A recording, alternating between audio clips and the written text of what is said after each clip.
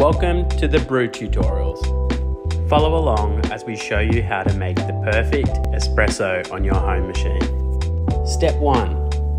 Finely grind 20 grams of espresso coffee. Step 2. Remove the portafilter from the machine and run some water manually through the group head. Step 3.